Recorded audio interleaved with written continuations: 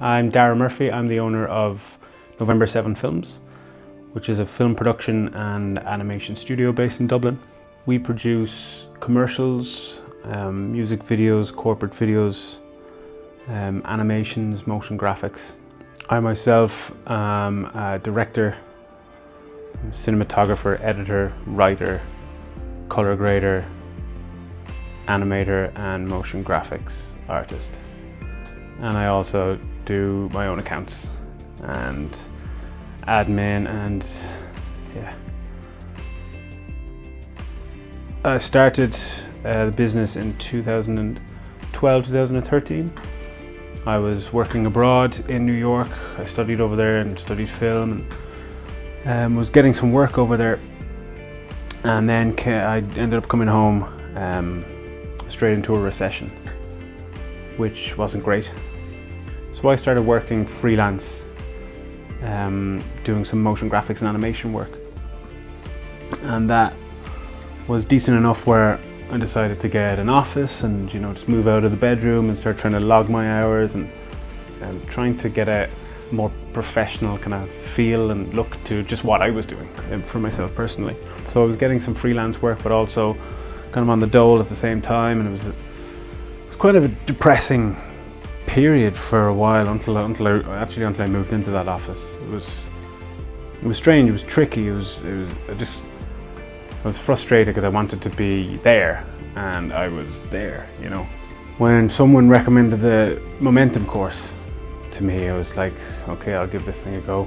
From what I read of the of the course, it seemed seemed like they knew what they were doing, and it seemed it was going to be demanding and challenging. So the first day was pretty daunting. Um, walked into the hotel room in the city centre and uh, 30 people in the class.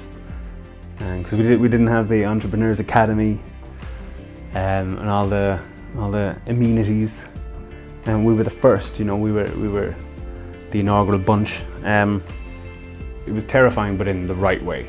You know, it was, we were getting asked the hard questions. You know, the easy question is, you know, what are you good at?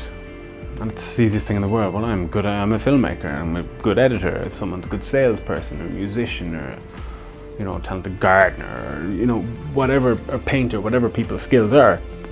Remember Steve, um, who I had actually known for about 10 years beforehand, Steve Thompson, when I walked in. I thought he was part of the class when I saw him. He was just like, hey, what are you doing here? And he said, I'm teaching you today. It was just like, oh Christ, you know. and so that was terrifying. But he didn't hold back. He was he was amazing. And um, he just kept asking the hard questions, just like, look, well, I, I know what you do, but how are you going to make money from it? I was well, well, I'm going to make movies for people, and I'm going to make you know corporate films, um, music videos, or, or you know. And Steve's like, okay, well, but how are you going to how are you going to get to these people? You target a company and they already have Joe Bloggs making videos for them, why are they going to choose you? And that really made me think. I was like, well, how do I communicate to people my worth to them? That was the start of a very long journey. What the Momentum course gave me personally was renewed confidence. Like I've always been a positive person, but around that time it was just like I, I'm faltering here. I'm just, I'm, yeah, I'm kind of fading away. It gives structure to the kind of chaotic nature of trying to start a business, trying to build a business.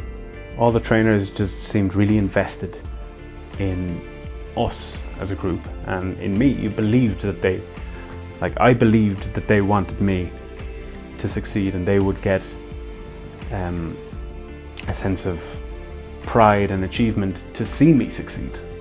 And at the end of every day, you're walking out of the, the class 10 feet tall, just like you're bulletproof, just like bring it on, bring it on. Why can't I do it? Uh, the course not only gave me the skills necessary to become an entrepreneur and to start your own business, but the kind of camaraderie in the group and this that kind of support structure within the group was amazing. Um, because we were all going through the same journey and we were all on the same path and we all shared the same like trepidation and we all we all shared the same like fears and joys and We all championed each other's achievements and, and were there when people needed assistance or help or support in any way. And the same thing applies when you just go up to the trainers. They were all just fantastic um, at what they did because they were entrepreneurs themselves and you, you believed them, you trusted them that not only did they have the knowledge that they could impart in you, but they had gone through the journey that we were going through, the highs and lows.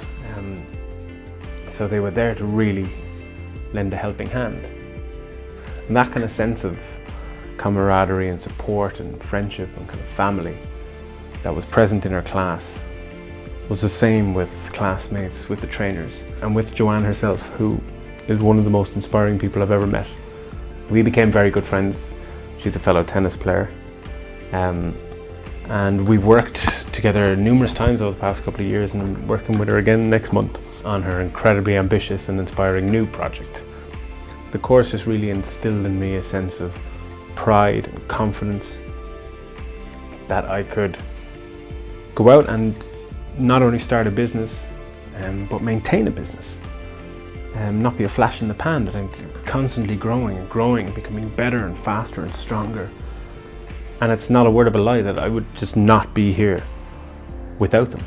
They gave me a structure to my business, and more so a structure and clarity to my ideas of business. The biggest piece of advice is just to be dedicated and to be prepared to to be in it for the long haul to realize that it's going to take hard work and long hours. My first year or two it was like 60 hours a week 70 hours a week. I think in year two I topped 100 hours a week one week because I just couldn't say no to projects because I was terrified about turning stuff down and and it was just it was hard. And maintaining that work-life balance was really really difficult but because I loved what I do, and I still love what I do, um, I just threw myself into it. Threw myself into it, knowing that like after you get past the first year or two of um, of just hard work, you know, it does balance out. Um, you get your rewards for that hard work.